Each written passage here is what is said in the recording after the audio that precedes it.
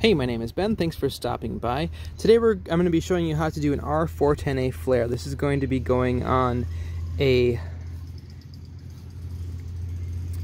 This flare in particular is going to be used for a mini split air conditioner system.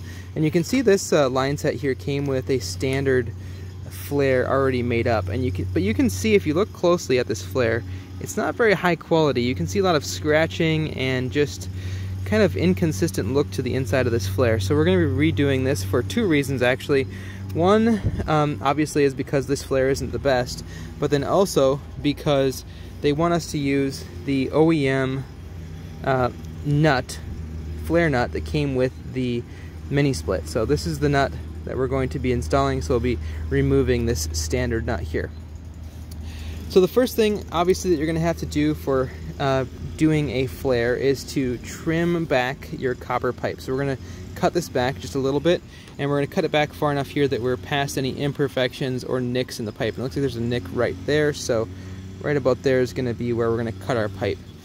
Now, to you, using a high quality pipe cutter uh, like this one is a good idea with a sharp blade because we want to cut this with uh, as minimal uh, deformation to the pipe as possible.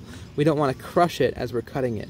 So I like to just get it just barely to the point where it's starting to touch and then begin rotating it around. And we're just going to rotate it three or four times and then tighten it just a little bit and do that process until we get this cut completed. So it could take us a couple minutes to do this. But by going really slow, it's going to reduce the amount of burrs that are inside of that pipe.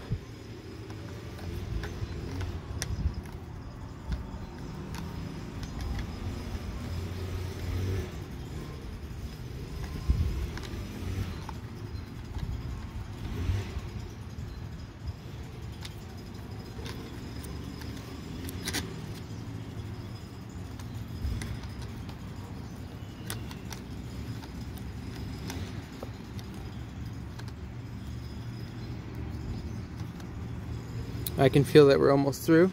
Should fall off momentarily. There we go.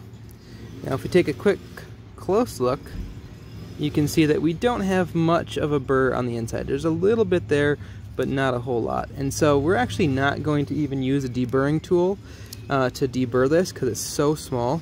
What I'm going to do is I'm going to take my needle nose pliers, lock our focus there so you guys can see really well, and we just push our needle nose into the pipe a little bit and gently ream it out and then it'll just kind of extend that burr outward instead of trying to trim it up. We're just not really going to need to do that with this tiny of a, a burr. But if you needed to deburr it, you could either use a standard deburring tool or very carefully take a knife and clean that burr off the inside just like this.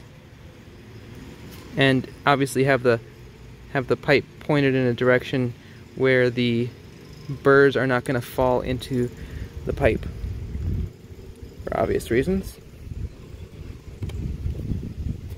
So I'll go ahead and ream it out just a little bit more now, you don't want to ream it out too much before you put the flare nut on or else it won't go on properly. So go ahead and slide this flare nut on. Now, since this is an R410A flare, it is going to be a wider flare, just slightly. So the outside dimension of the flare is a little bit bigger when we're done. But the most important part is just getting this, I gotta pull the copper out of this pipe a little more. The most important part is keeping that inside scratch free and damage free as we go through the process of flaring this. So I'm just going to ream this out a little bit more.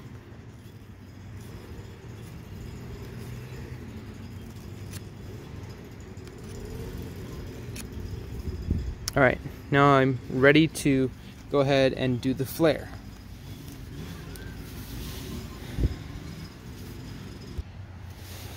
Now the flaring tool that we're going to be using is an eccentric flaring tool. I believe that's how we're supposed to pronounce it. But this this type of flaring tool basically has a rotational motion that kind of goes around and presses the flare into the die in a circular motion. Instead of it just like pushing it out directly with the cone, it kind of rolls it out into the die. And so it tends to do a lot better job at making a nice clean inner surface than a standard typical uh, flaring tool will. So I'd recommend picking up one of these over the standard ones if you can. I'll put a link in the description to this tool as well as any other tools related to this process. So we're going to go ahead and choose our 3 8 inch size and get that set over our pipe. So here's our 3 8 size. Now we're going to extend this through about a 16th to an eighth of an inch. Now this kind of takes a little bit of learning. It's kind of silly, but uh, that is the amount of material that we want to ultimately flare outward. Uh, so you kind of get the feel of this over the years of doing it and if you end up with one that's too far out the cone will be too big and your flare knot won't go over it or if you end up with one that's too small you'll obviously see that it's too loose inside of there. So uh, the instructions for R410A say to extend it out a tiny bit further. So basically they want that cone to be a little bit larger. So we're going to go just right about there. We're going to go with right about an eighth inch past the face of the pipe. And we'll take our flaring tool slide it over. And now we just line that up. You can see these, these uh, dimples here in the tool, and that is where we need to get this set and tighten it down. And then that, that will squeeze it together over the copper. And we do tighten it until it's all the way all the way seated. So you can see right there, it is all the way seated. Maybe we can go a tiny bit more.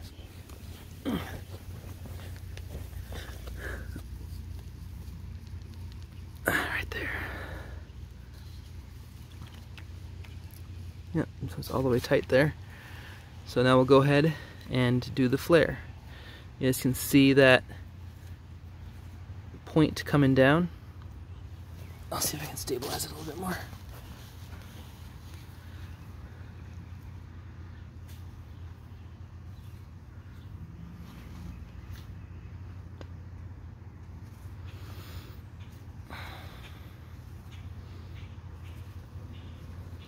There it's made contact. You'll see it start to roll that copper out and around see if I can get you a little bit better view.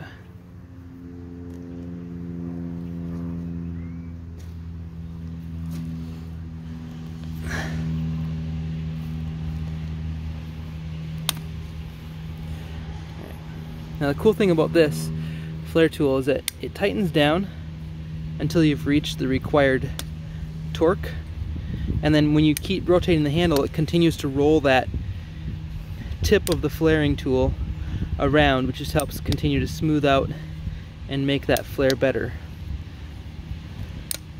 Alright, so that's about it. Now we'll back it out.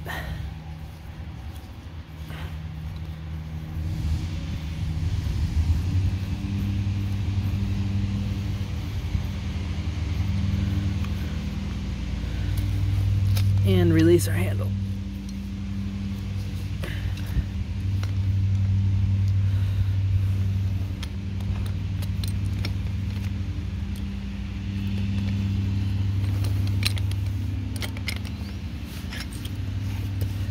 There it is.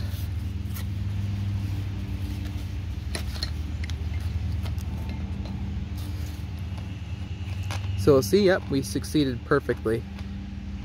It slides over there really nice. See if I can get you a good look at the end of it. See that? See how nice and smooth it is on the inside? There's no scratches or other blemishes that will cause our seal to fail.